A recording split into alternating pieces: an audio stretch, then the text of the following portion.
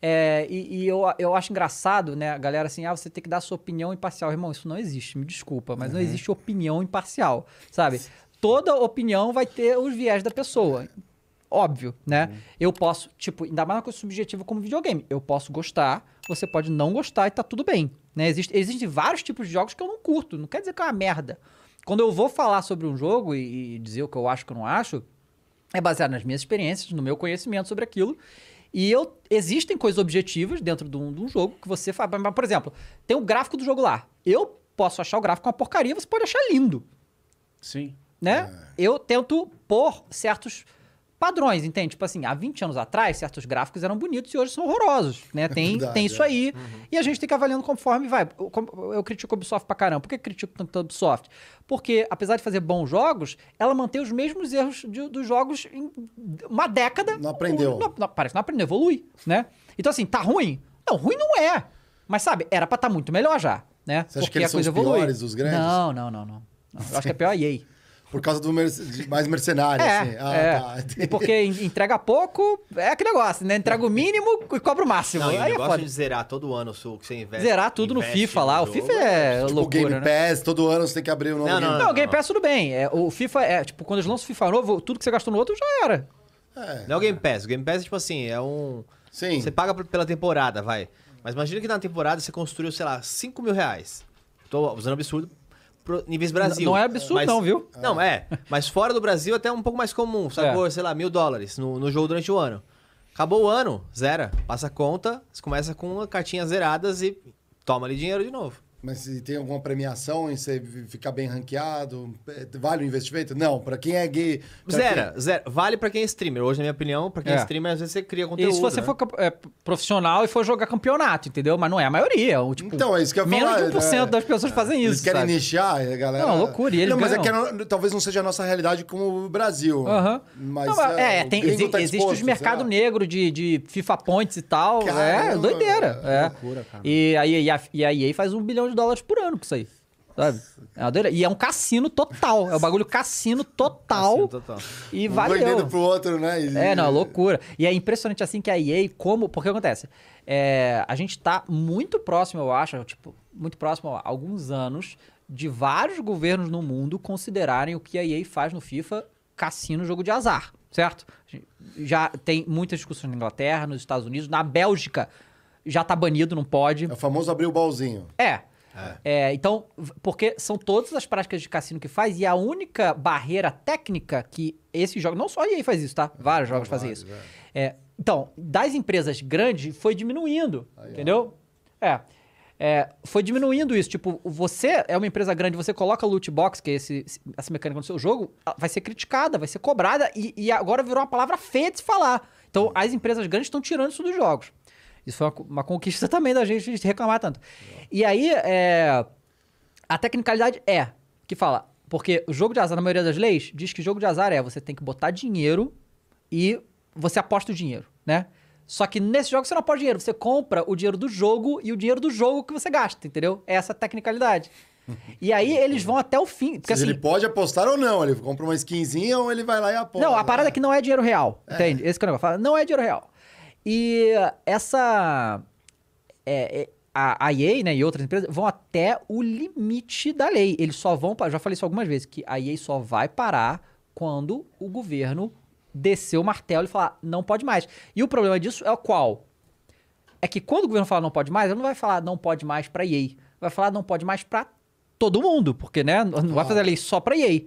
E aí o que acontece? Tem vários jogos de graça que precisam desses mecanismos pra sobreviver, de graça, porque o FIFA não é de graça, ainda tem essa. E aí pode degringolar e detonar o mercado mobile de uma maneira assim brutal e que vai se desencadear da maneira Que é um nem um pouco mercado que tá se agradável. desenvolvendo, né, cara? Não, tá muito né? gigante, mas É. também tem esse- essa situação, esse problema do, do gambling, porque é. uma preocupação real, né? Porque são crianças, né, jogando isso aí. Claro, E, claro. nós- e- e na maioria dos países existem leis contra jogos de azar, como o fato de só permitir acima de 18 anos, Mas aí não quer colocar o FIFA acima de 18 Mas, anos, mas né? aí o pay to use, né? Que é direto, assim, eu compro, eu posso usar. É, o que a gente tá falando especificamente é, do tal do Ultimate Team, Sim. que é o modo online lá. O FIFA tem zilhões de modos que não gasta nada, você joga, quer dizer, você comprou o jogo, é, se eu jogar com seu amigo, você não vai gastar nada, você vai, né, já comprou o jogo. Esse modo que a gente tá falando do Ultimate Team, né, que tem as cartinhas e tal. Ah, o NBA faz isso também, Também a, a faz. coisa, a mesma Com coisa. NFT também, É, muito de esportes, né? Como é que o É, mercado consumidor, é o maior mercado consumidor do mundo, tá- os Estados Unidos está enxergando esse, esse tipo de. Já tem diverso, em algo, porque lá é por estado, né? Tipo, Ah. dificilmente vai ter uma lei federal banindo essas coisas, mas por estado pode acontecer. Já tiveram vários deputados e senadores falando sobre isso, tentando, porque porque existem muitos casos, entende? Tipo, ah, meu filho, porque tem aquela Passou o cartão, né? Passou o cartão, gastou 3 mil dólares, minha família faliu. Isso é. Tem várias histórias dessas. Várias. Por quê? Porque não existe quase barreira pra pessoa comprar. Porque, tipo assim, o filho pega, ah, bota o cartão aí pra comprar um joguinho. Aí compra o joguinho. O pai não sabe que dentro do joguinho o, o filho pode gastar dinheiro infinito, literal infinito. Não tem barreira. Nada, A conta entende? tá vinculada no E aí, videogame. é, né? aí sempre tem, ah, não, mas o pai devia saber. Que Tudo bem, eu entendo tudo isso, mas assim, é, é muito rápido que o moleque pode ir ali, bum, mil Sim, dólares, sim. entende? É um não, negócio há, que. não há mecanismos éticos de controle. não, não tem, não É. tem, né? Descontrole, na verdade. Você o cara tá entra- Você viciadão. entra na net ali pra você botar o sexy hot, teu filho tem que digitar uma senha que você não passa pra ele, né? Tipo assim, é... É, podia ter essas coisas, só que é, o que acontece é que a maioria dos pais, cara, hoje em dia, ainda são muito ignorantes em relação ao videogame. Tipo assim, estão descobrindo o que videogame existe agora. Agora o cara saber que o moleque tá dentro do jogo online e ele pode Gasta. gastar dinheiro infinito ali. É um negócio que a maioria não sabe, entende? Então acontece tem muitos casos. Tipo, no Reino Unido, isso começou por causa disso. Porque, tipo, começou vários casos, cara. Porque, porque a EA não devolve teu dinheiro, não. Entendeu? Se você falar, eu reclamo, pelo amor de Deus, É. gastei mil dólares aqui, eu tenho que pagar a conta de luz, não tenho. Você pode, por favor, não queria ter gasto isso aqui. Azar o não, teu. Azar o teu. É. Né? Então tem Senhora. tudo essas coisas. É. Então tem, tem muito disso. Não, e ela tá se cagando de medo, porque agora tem um, um modo lá quando você compra as cartinhas, É. eles lançaram um preview, que agora, tipo, pra ser menos gambling, você, a primeira, uma vez por dia, você pode ver o que sairia se você abrisse o pacote, e você pode escolher abrir ou não. Então é o jeito também que eles estão tentando É, burlar. tentando burlar. Narrowing ainda. Isso, pra falar Mas assim, posso- olha, a gente mostra o que, que ele ia ganhar. Entendeu? Mas posso te dizer uma coisa? Talvez, posso, posso ser um pouco romântico aqui. Com o crescimento do mercado, a, joga luz a determinadas coisas que antes passavam meio que... É o pai ignorante, é, o, é o útil agradável ali para poder pescar mais dinheiro de quem não entende. Então, se você tem um mercado grande, é, você tem mais pessoas consumindo, aí a tendência é que esse tipo de prática vá diminuindo ao longo do tempo. Não sei. É, exatamente, porque a gente tá num. É, é porque assim, diminuiu justamente isso. As empresas grandes se sentiram pressionadas por causa da opinião pública a tirar isso dos jogos dela. E foi acontecendo. Tipo, é porque era, era um bagulho bizarro assim, tipo. Tem um jogo que chama Shadow of War, tá? Que é um jogo do Universo dos Anéis. E eles inventaram, no- nesse Shadow of War, Shadow of Mordor é o primeiro, não, não teve nada disso. Justamente, no primeiro jogo não teve nada disso. Era um jogo, porra, foda, mundo aberto, aventuras aqui no Universo dos Anéis. No segundo, eles meteram o loot box lá. Vagabundo destruiu os caras. Sabe qual é? Porque, tipo, sabe, é, é uma parada, né? é Esse tipo de coisa. E, e aí, assim, a, a gente, isso tá realmente. Tem esse, essa situação, tem esse. é, essa coisa que até certo ponto funcionou. A gente sabe que, por exemplo, com a EA, nada disso É, vai esse é funcionar. jogo, esse jogo aí é que eles meteram loot box no Shadow of War. É o que não tinha nenhum cabimento pro estilo de jogo que era, né? É, e, e, e assim, porque isso aí, cara, também, além de, além de ser, é, é, ter essa coisa de gambling e tal, cara, você quebra... Essas caixas, você ganhava orcs. Tipo assim, esse jogo tem uma mecânica que você faz exércitos de orcs. E você tem que achar esses orcs e, e recrutar eles e tal, fazer umas paradas, derrotar, umas coisas lá. Era, essa caixa vinha a porra do orc, entendeu? O que, que isso tem a ver com o Senhor dos Anéis, entendeu? Eu vou abrir a caixa, vai vir a porra do bicho.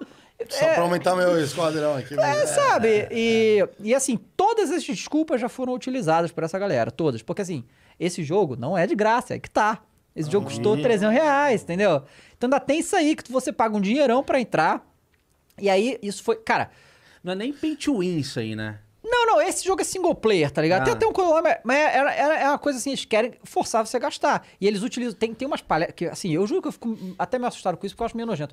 Eu acredito em negócios, assim, sei que isso que eu tô falando é extremamente romântico, tá? Mas eu aprendi, né, é, e eu acredito muito nisso, e eu acho que as grandes empresas hoje, é, é, que tiveram grande sucesso, começaram assim, que você tem que fazer o melhor pro seu consumidor, e é assim que você vai derrotar seus concorrentes Correto. certo? Essas empresas de videogame, elas já foram assim em algum momento. Elas fizeram melhor, por isso que elas cresceram, fizeram grandes jogos, por isso que tiveram grande sucesso. Só que chega um ponto de que, é, como é um produto artístico, ninguém vai ser concorrente, entende? Por exemplo, a, a- esse jogo, Shadow of War, que é a Warner. Nenhuma outra empresa no mundo pode fazer um jogo Seus Anéis, só a Warner. Então eles têm essas propriedades intelectuais que são deles e que eles exploram a, a paixão do fã, entende? Que eu falo isso várias vezes, tipo assim, eu sempre falo, né, pra não gastar nisso, aquilo, que eu acho esquisito errado, mas eu, mas eu sempre falo também, cara, eu sei que você é fã, você é fã do Batman, pra caralho, você ama os jogos do Batman. Eu sei quando você é o jogo do Batman, você não vai, você não tá nem aí porque eu vou falar do jogo do Batman, você vai comprar o jogo do Batman. você vai comprar tudo. Igual esportes, né? De certa forma também. É, então assim, você não tem como. É, não tem como aconselhar a pessoa na paixão, entende? Então, essa empresa explora a paixão das pessoas. E é- eu acho meio merda isso, sabe?